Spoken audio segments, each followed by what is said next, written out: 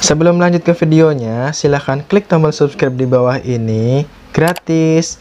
Terima kasih, selamat menonton.